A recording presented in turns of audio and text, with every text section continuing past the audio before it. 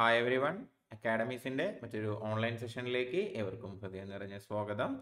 ഞാൻ ഹൻഷാദ് അപ്പോൾ നമ്മൾ ഐശ്വര്യമായിട്ട് നമ്മുടെ കെമിസ്ട്രിയുടെ നമ്മുടെ രസതന്ത്രത്തിന്റെ ഡിസ്കഷൻ എന്ത് ചെയ്യുകയാണ്? ഇന്ന് ഈ ക്ലാസ്സോടുകൂടി ആരംഭിക്കുകയാണ്. ക്ലാസ്സിലേക്ക് കിടക്കുന്നതിന് മുമ്പ് നമ്മുടെ ടോപ്പിക്കിലേക്ക് കിടക്കുന്നതിന് മുമ്പ് ഒരു പ്രധാനപ്പെട്ട കാര്യം ഞാൻ നിങ്ങളോട് എല്ലാവരോടും പറഞ്ഞുകൊള്ളട്ടെ. നമുക്കറിയാം കെമിസ്ട്രിയാണ് കെമിസ്ട്രി എന്ന് പറയുന്നത് സയൻസിന്റെ ഒരു ബ്രാഞ്ചാണ് അല്ലെ? ഫിസിക്സ് കെമിസ്ട്രി ബയോളജി പോലത്തെ ഒരു ടെക്നിക്കൽ സബ്ജക്റ്റ് ആണ് ഇതെന്ന് പറയുന്നത്. കെമിസ്ട്രി എന്ന് പറയുന്നത്. അതുകൊണ്ട് തന്നെ ഈ ക്ലാസ് നമ്മൾ എടുക്കുന്ന സമയത്ത് ഇതിലെ പല പദങ്ങൾക്കും എന്തുണ്ടാവും? കൃത്യമായ ഒരു മലയാളം ടേം ഉണ്ടാവും അല്ലേ? അപ്പോൾ നിങ്ങൾ ഇംഗ്ലീഷിൽ ക്ലാസ് ഫോളോ ചെയ്യുന്നവരായിരിക്കാം നിങ്ങൾ മലയാളത്തിൽ ക്ലാസ് ഫോളോ ചെയ്യുന്നവരായിരിക്കാം അല്ലെങ്കിൽ നമ്മൾ ക്ലാസ് എടുക്കുന്ന ഒരു രീതി നിങ്ങൾക്ക് ഇപ്പോൾ ഓൾറെഡി മനസ്സിലായിട്ടുണ്ടാവാം. നമ്മൾ സ്ലൈഡ് ഇംഗ്ലീഷിലും അതുപോലെ തന്നെ എക്സ്പ്ലനേഷൻ മലയാളത്തിലാണ് എന്ത് ചെയ്യാറുള്ളത്? തരാറുള്ളത്. അപ്പോൾ തുടക്കം തന്നെ ഞാൻ നിങ്ങൾക്ക് ഒരു പ്രോമിസ് തരികയാണ്. നിങ്ങൾക്ക് ഈ ക്ലാസ് നിങ്ങൾ irrespective of the language you follow നിങ്ങൾ ഇംഗ്ലീഷിലായിക്കോട്ടെ മലയാളത്തിലായിക്കോട്ടെ ക്ലാസ്സുകൾ ഫോളോ ചെയ്യുന്നത് ഈ ക്ലാസ്സിൽ നിങ്ങൾക്ക് അതിൽ യാതൊരു രീതിയിലുള്ള ബുദ്ധിമുട്ടും ആയിരിക്കില്ല. കാരണം നമ്മൾ സ്ലൈഡുകൾ ഇംഗ്ലീഷിലാണെങ്കിൽ കൂടി ഈ ഒരു ശാസ്ത്ര വിഷയമാണെന്നുള്ള പ്രാധാന്യം മനസ്സിലാക്കിക്കൊണ്ട് തന്നെ ഇതിലെ എല്ലാ ടെക്നിക്കൽ ടേംസിന്റെയും മലയാള പദങ്ങളുള്ള എല്ലാ ടെക്നിക്കൽ ടേംസിന്റെയും മലയാള പദങ്ങളൊപ്പം പറഞ്ഞ് എക്സ്പ്ലെയിൻ ചെയ്തുകൊണ്ട് തന്നെ എന്ത് ചെയ്യുന്നതായിരിക്കും? നമ്മൾ മുന്നോട്ട് പോകുന്നതായിരിക്കും. അതുകൊണ്ട് തന്നെ നിങ്ങൾ ഇംഗ്ലീഷിൽ പ്രിപ്പയർ ചെയ്യുന്ന ആളായാലും മലയാളത്തിൽ പ്രിപ്പയർ ചെയ്യുന്ന ആളായാലും നിങ്ങൾക്ക് ഒരു രീതിയിലുള്ള ബുദ്ധിമുട്ടും അതുകൊണ്ട് ഉണ്ടാവില്ല എന്നുള്ള ഒരു ഉറപ്പ് ഒരു പ്രധാനപ്പെട്ട കാര്യം ആദ്യം പറഞ്ഞുകൊണ്ട് തന്നെ ഞാൻ എന്ത് ചെയ്യുകയാണ്? ക്ലാസ് സ്റ്റാർട്ട് ചെയ്യുകയാണ്. അപ്പോൾ നമ്മുടെ കെമിസ്ട്രി ആദ്യത്തെ വാക്കിൽ നിന്ന് തന്നെ തുടങ്ങാം. രസതന്ത്രം എന്നാണ് ഇതെന്ന് പറയുന്നത്? കെമിസ്ട്രിയുടെ മലയാളം എന്ന് പറയുന്നത്. അപ്പോൾ എന്താണ് കെമിസ്ട്രി എന്ന് ചോദിച്ചു കഴിഞ്ഞാൽ കെമിസ്ട്രിയെ പറ്റി ഡെഫിനിഷൻ നമ്മൾ ഈ രീതിയിലാണ് പറയാറുള്ളത്. Branch of science which deals with the composition structure properties and changes of matter അതായത് മാറ്റർ മാറ്റർ എന്ന് വെച്ചാൽ നമുക്കറിയാം ദ്രവ്യം. ഒരു ദ്രവ്യത്തിന്റെ കമ്പോസിഷൻ അതിന്റെ ഘടന അല്ലെങ്കിൽ അതിന്റെ സ്ട്രക്ചർ അല്ലെങ്കിൽ അതിന്റെ പ്രോപ്പർട്ടീസ് വ്യത്യസ്തമായ സ്വഭാവ സവിശേഷതകൾ ഇതിനെല്ലാം പറ്റി പഠിക്കുന്ന ശാസ്ത്രശാഖയാണ് നമ്മൾ ഏതെന്ന് പറയുന്നത്? നമ്മൾ കെമിസ്ട്രി അല്ലെങ്കിൽ രസതന്ത്രം എന്ന് പറയുന്നത്. കെമിസ്ട്രിയുടെ പിതാവായിട്ട് അറിയപ്പെടുന്ന രസതന്ത്രത്തിന്റെ പിതാവായിട്ട് അറിയപ്പെടുന്ന ശാസ്ത്രജ്ഞൻ റോബർട്ട് ബോയിലാണ്. റോബർട്ട് ബോയിലാണ് എന്തായിട്ട് അറിയപ്പെടുന്നത്? രസതന്ത്രത്തിന്റെ പിതാവായിട്ട് അറിയപ്പെടുന്നത്. അദ്ദേഹത്തിന്റെ വളരെ പ്രശസ്തമായ ഒരു പുസ്തകമാണ് സ്കെപ്റ്റിക്കൽ കെമിസ്റ്റ് ഇതുവരെ അങ്ങനെ കേരള പി എസ് ഒന്നും ചോദിച്ച് കണ്ടിട്ടില്ല. അതുകൊണ്ട് തന്നെ നോട്ട് ചെയ്ത് വെക്കുക എസ് എസ് സിക്കൊക്കെ പലവട്ടം ചോദിച്ചിട്ടുള്ളൊരു ചോദ്യമാണ്.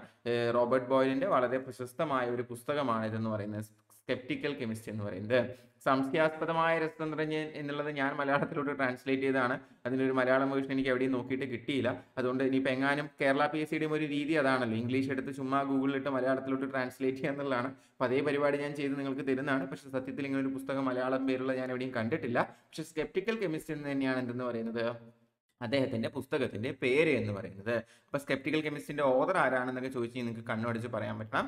അത് റോബർട്ട് ബോയിലാണ് ഇനി മോഡേൺ കെമിസ്ട്രിയുടെ പിതാവ് ആധുനിക രസതന്ത്രത്തിന്റെ പിതാവ് ആരാണെന്ന് ചോദിച്ചു കഴിഞ്ഞാൽ അത് ലാവോസിയാണ് ആധുനിക രസതന്ത്രത്തിന്റെ പിതാവ് ആരാന്ന് ചോദിച്ചു കഴിഞ്ഞാൽ ലാവോസിയാണ് ഈ റോബർട്ട് ബോയിലിനെ പറ്റിയും ലാവോസിയെ പറ്റിയും എല്ലാം നമ്മൾ വഴിയെ ഡീറ്റെയിൽ ആയിട്ട് നമുക്ക് പഠിക്കാനുണ്ട് കേട്ടോ. അവരെ പറ്റിയും അവരുടെ കണ്ടുപിടുത്തങ്ങളെ പറ്റിയെല്ലാം നമ്മൾ പഠിക്കാനുണ്ട്.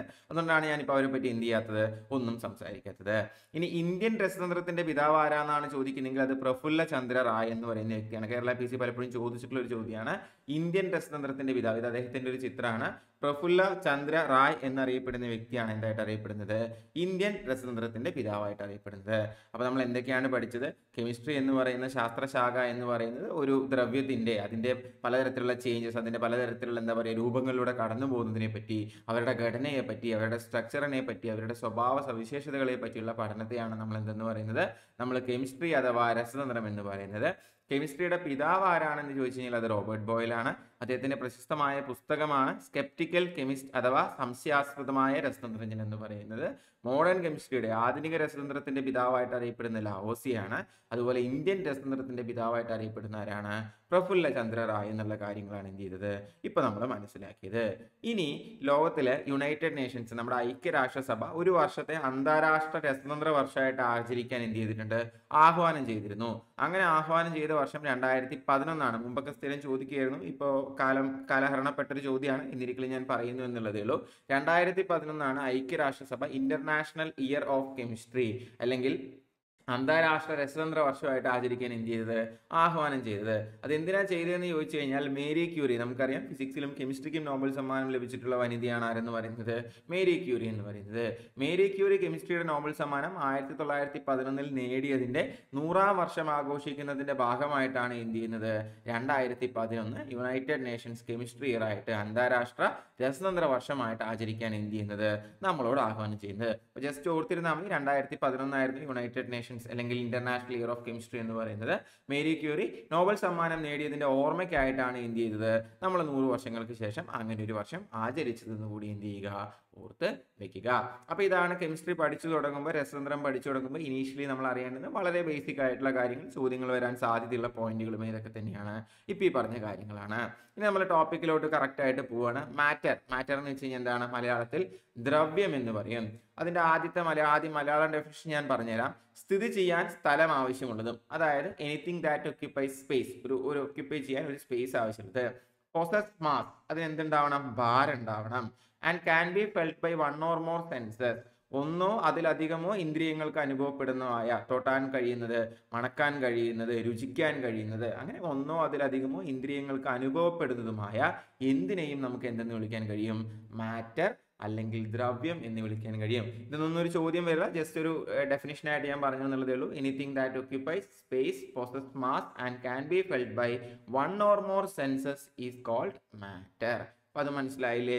ഇനി ഈ മാറ്ററിനെ പറ്റി പഠിക്കുമ്പോൾ നമ്മളോട് ആദ്യമായിട്ട് ഇതിനെ അല്ലെങ്കിൽ നമ്മൾ പഠിക്കേണ്ടുന്ന ഒരു ഇന്ത്യക്കാരൻ എന്നുള്ള നമ്മൾ പഠിക്കേണ്ടുന്ന ഒരു കാര്യമാണ്. ഈ മാറ്റർ എന്ന് പറയുന്ന സംഭവം ഈ ദ്രവ്യം എന്ന് പറയുന്ന സാധനം എല്ലാം ഉണ്ടാക്കിയിട്ടുള്ളത് വളരെ ചെറിയ പാർട്ടിക്കിൾസ് വെച്ചിട്ടാണ്. വെരി സ്മോൾ പാർട്ടിക്കിൾസ് വെച്ചിട്ടാണ്. അതിന് അദ്ദേഹം പേരിട്ട് വിളിച്ചത് അണു എന്നാണ്. അങ്ങനെ വിളിച്ചത് ആരാണെന്ന് ചോദിച്ചു കഴിഞ്ഞാൽ അത് മഹാഋഷി കാണാതനാണ്. എന്താണ് അദ്ദേഹം പറഞ്ഞത്? He was the first to suggest that all forms of matter are composed of very small particles called അണു. എല്ലാ ദ്രവ്യങ്ങളും നിർമ്മിച്ചിരിക്കുന്നത് അല്ലെങ്കിൽ അത് രൂപ രൂപപ്പെട്ടിരിക്കുന്നത് അണു എന്ന് പറയുന്ന വളരെ ചെറിയ ചെറിയ ചെറിയ പാർട്ടിക്കിൾസ് വെച്ചിട്ടാണ്. എന്ന് ആദ്യമായി പ്രപ്പോസ് ചെയ്ത ആരാണ്? മഹാഋഷി കണാദനാണ് അതുപോലെ തന്നെ ലോകത്തിന്റെ മറ്റു പല ഭാഗങ്ങളിൽ നിന്നും അഭിപ്രായങ്ങൾ വന്നിട്ടുണ്ട്. ഡെമോക്രീറ്റസ് എന്ന് പറയുന്ന ഒരു ഗ്രീക്ക് ചിന്തകൻ പറഞ്ഞത് എന്താണെന്ന് വെച്ച് കഴിഞ്ഞാൽ nothing exists except atoms and empty space everything else is opinion ഇത് ചുമ്മാ ഒരു ഒരു കോട്ടൊക്കെ തന്നിട്ട് ചോദിക്കാൻ പറ്റുന്ന സാധനമാണ്. എവിടെയും ചോദ്യം കണ്ടിട്ടുണ്ട്. Nothing exists except atoms and empty space empty സ്പേസും ആറ്റംസ് ഒഴികെ ലോകത്ത് വേറൊന്നുമില്ല. അല്ലെ? രണ്ടെണ്ണേ ഉള്ളൂ. ഒന്നുകിൽ എം ടി സ്പേസ് ഇല്ലെങ്കിൽ ആറ്റംസ് ബാക്കിയെല്ലാം എന്ത് തന്നെയാണ്? ബാക്കിയെല്ലാം അഭിപ്രായങ്ങൾ മാത്രമാണ് എന്ന് അഭിപ്രായപ്പെട്ട വ്യക്തിയാണ് ഗ്രീക്ക് ചിന്തകനായിരുന്ന ഡെമോക്രിറ്റിസ് എന്ന് പറയുന്നത്. ഇദ്ദേഹമാണ് ഇതിന് എന്ത് പേരിട്ടത്? ആറ്റംസ് എന്ന് പറയുന്ന പേരിട്ടത് എന്നാണ് പറയുന്നത്. ഈ പേര് വന്നത് എവിടെന്നാന്ന് ചോദിച്ചു കഴിഞ്ഞാൽ അറ്റോമോസ് എന്ന് പറയുന്ന പദത്തിൽ നിന്നാണ്. അറ്റോമോസ് എന്ന് പറയുന്ന പദത്തിനർത്ഥം ഇൻഡിവിസിബിൾ എന്നാണ്. അവർ അന്ന് വിചാരിച്ചത് ഈ ആറ്റം എന്ന് പറയുന്ന സാധനം പിന്നീട് ഡിവൈഡ് ചെയ്യാൻ പറ്റില്ല.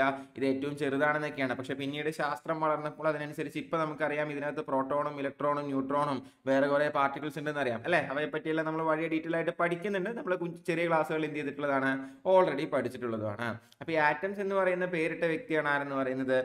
ഡെമോക്രീറ്റസ് എന്ന് പറയുന്നത്. അദ്ദേഹം അത് ആ പേര് വന്ന വഴി എന്ന് പറയുന്നത് അറ്റോമോസ് എന്ന് പറയുന്ന വാക്കിൽ നിന്നാണ്. അറ്റോമോസ് എന്ന് പറയുന്ന വാക്കിനർത്ഥം ഇൻഡിവിസിബിൾ അഥവാ വിഭജിക്കാനാവാത്തത് എന്നാണ് ഏത് വാക്കിനർത്ഥമായിട്ട് വരുന്നത്? അറ്റോമോസിന് അർത്ഥമായിട്ട് വരുന്നത്. ഇനി നമ്മൾ ഇതിന്റെ ഫിസിക്കൽ ക്ലാസിഫിക്കേഷനിലോട്ട് പോകണമെങ്കിൽ മാറ്ററിനെ നമ്മൾ ഫിസിക്കലി ക്ലാസിഫൈ ചെയ്യണമെങ്കിൽ നമ്മൾ കാലങ്ങളായിട്ട് അറിയുന്നതാണ് മൂന്നായിട്ടാണ് തരംതിരിച്ചിരിക്കുന്നത്. ഒന്ന് സോളിഡ് രണ്ട് ലിക്വിഡ് മൂന്ന് ഗ്യാസ് അല്ലെ? സോളിഡ് എന്ന് വെച്ച് കഴിഞ്ഞാൽ ഖരം ഖരവസ്തു. സോളിഡ് എന്ന് വെച്ച് കഴിഞ്ഞാൽ ഖരം ലിക്വിഡ് എന്ന് വെച്ച് കഴിഞ്ഞാൽ ദ്രാവകം ദ്രാവകം. നമുക്ക് അറിയുന്നതാണ് ലിക്വിഡ് ദ്രാവകം. ഗ്യാസ് എന്താണ്? വാതകം. എന്നിങ്ങനെ വളരെ പ്ലെയിൻ ആയിട്ടുള്ള നമ്മുടെ ചുറ്റുമുള്ള മൂന്ന് വസ്തുക്കളായിട്ട് മൂന്ന് ക്ലാസിഫിക്കേഷനായിട്ട് എന്ത് ചെയ്യാൻ പറ്റും? നമുക്ക് തിരിക്കാനായിട്ട് കഴിയും. ഇപ്പൊ പലപ്പോഴും ഒന്നിൽ നിന്ന് മറ്റൊന്നിലേക്കും മറ്റൊന്നിൽ നിന്ന് വേറൊന്നിലേക്കും എന്ത് ചെയ്യും? ഇങ്ങനെ ചേക്കേറിക്കൊണ്ടേയിരിക്കും അല്ലെ? അത് നമുക്ക് അറിയുന്നതാണ്. സോളിഡ് ലിക്വിഡ് ആവണമെന്നുണ്ടെങ്കിൽ അതിനെ നമ്മൾ ലിക്വിഫാക്ഷൻ അഥവാ ദ്രവീകരണം എന്ന് വിളിക്കും. സോളിഡ് ലിക്വിഡ് ആവുകയാണെന്നുണ്ടെങ്കിൽ നമ്മൾ അതിനെ ലിക്വിഫാക്ഷൻ അഥവാ ദ്രവീകരണം എന്ന് വിളിക്കും. ഇനി നേരെ തിരിച്ച് ലിക്വിഡ് സോളിഡ് ആവുകയാണെങ്കിൽ അതിനെ നമ്മൾ സോളിഡിഫിക്കേഷൻ എന്താണോ ആവുന്നത് ആ പേരെ വരുന്നതെന്ന് ആലോചിച്ചാൽ മതി. ലിക്വിഡ് ആകുമ്പോൾ ലിക്വിഫാക്ഷൻ സോളിഡ് ആകുമ്പോൾ സോളിഡിഫിക്കേഷൻ സോളിഡിഫിക്കേഷന്റെ മലയാളം എന്താണ്? ഘനീഭവിക്കൽ.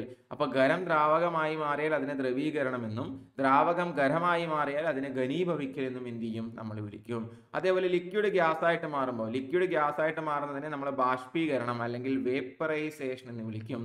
ഗ്യാസ് എന്ന് വെച്ചാൽ നമുക്കറിയാം വേപ്പറാണ് അല്ലേ? ലിക്വിഡ് ഗ്യാസ് ആവുന്നതിനെ നമ്മൾ വേപ്പറൈസേഷൻ അല്ലെങ്കിൽ ബാഷ്പീകരണം എന്ന് വിളിക്കും. ഇതൊക്കെ ചോദിക്കട്ടെ. ആറ് ചോദ്യത്തിനുള്ള സ്കോപ്പ് ഉണ്ട് ഈ ഒറ്റ ഫിഗറിനകത്തുനിന്ന് അതേസമയം വാതകം ദ്രാവകമായി മാറുമ്പോൾ ഗ്യാസ് ലിക്വിഡായി മാറുമ്പോൾ നമ്മൾ കണ്ടൻസേഷൻ അല്ലെങ്കിൽ സാന്ദ്രീകരണം എന്ന് വിളിക്കും. ഗ്യാസ് ലിക്വിഡായിട്ട് മാറുമ്പോൾ കണ്ടൻസേഷൻ അല്ലെങ്കിൽ സാന്ദ്രീകരണം എന്ന് വിളിക്കും. ഇനി ഗ്യാസ് സോളിഡായി മാറിയാലും എന്ത് തന്നെയാണ് വിളിക്കുന്നത്? സോളിഡിഫിക്കേഷൻ എന്ന് തന്നെയാണ് വിളിക്കുന്നത്. ലിക്വിഡ് സോളിഡായി മാറിയാലും ഗ്യാസ് സോളിഡായി മാറിയാലും സോളിഡായി മാറുന്നുണ്ടെങ്കിൽ നമ്മൾ അതിനെ എന്ത് വിളിക്കുന്നു? നമ്മളതിനെ സോളിഡിഫിക്കേഷൻ ഘനീഭവിക്കൽ എന്ന് വിളിക്കുന്നു. ഇനി നമുക്ക് അറിയേണ്ടുന്ന വളരെ ഇമ്പോർട്ടന്റ് ആയിട്ടുള്ള ഒരു സംഭവമാണ് സോളിഡ് ഡയറക്റ്റ് ഗ്യാസ് ആയിട്ട് മാറുമ്പോൾ. അതായത് സോളിഡിന്റെ ഒരു ഒരു ഒരു രീതി എന്ന് പറയുന്നത് സോളിഡ് ലിക്വിഡ് ആവണം എന്നിട്ട് ഗ്യാസ് ആവണം അല്ലേ? അങ്ങനെയല്ലേ നമ്മുടെ ഒരു നാട്ടു നടപ്പ് എന്ന് പറയുന്നത്. പക്ഷെ അങ്ങനെയല്ലാതെ സോളിഡ് ഡയറക്റ്റ് ആയിട്ട് ഗ്യാസ് ആയിട്ട് മാറുകയാണെങ്കിൽ ആ പ്രോസസ്സിനെ നമ്മൾ സബ്ലിമേഷൻ എന്ന് വിളിക്കുന്നു. മലയാളത്തിൽ ഉത്പതനം എന്ന് വിളിക്കുന്നു. ഇമ്പോർട്ടന്റ് ആണ്. Some substances when heated changes directly into gas without forming liquid നമുക്ക് വളരെ നന്നായിട്ട് അറിയുന്ന ഒരു എക്സാമ്പിൾ ആണ് നമ്മുടെ കർപ്പൂരം എന്ന് പറയുന്നത് അല്ലെ? കാംഫ്തലിൻ ബോൾസ് ഒക്കെ നമുക്ക് കാംഫ്തലിൻ നമ്മൾ പറയാറുണ്ട്. ക്യാംഫർ സോറി ക്യാംഫ്തലിൻ അല്ല നാഫ്തലിനും ക്യാംഫറും കൂടി കൂടി വന്നാണ്. എന്നോട് ക്ഷമിക്കുക. ക്യാംഫർ കർപ്പൂരം കർപ്പൂരം. നാഫ്തലിൻ എന്ന് വെച്ചാൽ നമ്മുടെ പാറ്റ ഗുളിക നമ്മുടെ കൂറയ്ക്കൊക്കെ കിടന്ന ഗുളിക എന്ന് വേണമെങ്കിൽ നമുക്ക് പറയാൻ പറ്റും. ഇതെല്ലാം എന്ത് എന്ത് തരത്തിലുള്ള വസ്തുക്കളാണ്? സബ്ലിമേഷൻ എക്സിബിറ്റ് ചെയ്യുന്ന വസ്തുക്കളാണ്. ഇവയെല്ലാം ചൂടാക്കി കഴിഞ്ഞാൽ ഇവ ഡയറക്റ്റ് ആയിട്ട് എന്തായിട്ട് മാറും? ഗ്യാസ് ആയിട്ട് മാറും. ഇടയിലുള്ള ഒരു ലിക്വിഡ് ഫേസ് എന്ത് ചെയ്യുന്നില്ല? അവരെടുക്കുന്നില്ല അങ്ങനെ പോകുന്ന ആ ഒരു പ്രോസസ്സിനെയാണ് അല്ലെങ്കിൽ അവർക്കുള്ള ഒരു സ്പെഷ്യൽ സ്കില്ലിനെയാണ് നമ്മൾ എന്തെന്ന് വിളിക്കുന്നത്? സബ്ലിമേഷൻ അഥവാ ഉത്പതനം എന്ന് വിളിക്കുന്നത് എന്ത് ചെയ്യുക? മനസ്സിലാക്കുക. ഇനി നമ്മളിപ്പോൾ പറഞ്ഞത് സോളിഡ് ലിക്വിഡ് ഗ്യാസ് എന്ന് പറഞ്ഞു ഈ മൂന്ന് സ്റ്റേറ്റിലും നാച്ചുറലി എക്സിസ്റ്റ് ചെയ്യാൻ കഴിവുള്ള ഒരേ ഒരു വസ്തു ഏതാണെന്ന് ആലോചിച്ചിട്ടുണ്ടോ? അതായത് നാച്ചുറലി നമ്മളൊന്നും ചെയ്യാതെ സോളിഡ് ആയിട്ടും ലിക്വിഡ് ആയിട്ടും ഗ്യാസ് ആയിട്ടും നാച്ചുറലി എക്സിസ്റ്റ് ചെയ്യുന്ന പ്രകൃതിദത്തമായിട്ട് എക്സിസ്റ്റ് ചെയ്യുന്ന ഒരൊറ്റ സാധനമുള്ളൂ ആ സാധനം ഏതാണെന്ന് നിങ്ങൾ പലരും എന്താ പറയുക തല പുകഞ്ഞ് ആലോചിക്കുന്നുണ്ടാവും. പക്ഷെ വളരെ സിമ്പിളാണ് ആ സാധനം ഏത് മാത്രമാണ്? അത് നമ്മുടെ വെള്ളം മാത്രമാണ്. വെള്ളം ജലം മാത്രമാണ് എന്ത് ചെയ്യുന്നത്? Only substance that exist naturally in all three states അതായത് സോളിഡ് ആയിക്കൊള്ളട്ടെ ഖരം ആയിക്കൊള്ളട്ടെ ലിക്വിഡ് ആയിക്കൊള്ളട്ടെ ദ്രാവകമായിക്കൊള്ളട്ടെ ഗ്യാസ് ആയിക്കൊള്ളട്ടെ വാതകമായിക്കൊള്ളട്ടെ എല്ലാ സ്റ്റേറ്റിലും നാച്ചുറലി എക്സിസ്റ്റ് ചെയ്യുന്ന ഒരേ ഒരു സബ്സ്റ്റൻസ് ആണ് ഇതെന്ന് പറയുന്നത്. നമ്മുടെ വെള്ളം എന്ന് പറയുന്നത്.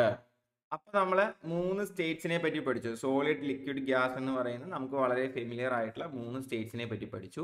ഇനി നമുക്ക് നോക്കാനുള്ളത് ഫോർത്ത് സ്റ്റേറ്റ് ഓഫ് മാറ്റർ ആണ് കാലക്രമേണ ശാസ്ത്രം വളർന്നപ്പോൾ അതിനോടൊപ്പം മറ്റു പലതരത്തിലുള്ള സ്റ്റേറ്റ്സ് ഓഫ് മാറ്റർ ദ്രവ്യത്തിന്റെ പലതരത്തിലുള്ള രൂപഭാവങ്ങളെ പറ്റി എന്ത് ചെയ്യുകയുണ്ടായി? നമ്മൾ പഠിക്കുകയുണ്ടായി. അങ്ങനെ നമ്മൾ പഠിച്ചു വന്നപ്പോഴാണ് നമ്മൾ മനസ്സിലാക്കിയത് ഈ യൂണിവേഴ്സിൽ ഏറ്റവും കൂടുതൽ എക്സിസ്റ്റ് ചെയ്യുന്നത് ഈ പറയുന്ന സോളിഡോ ലിക്വിഡോ ഗ്യാസോ ഒന്നുമല്ല.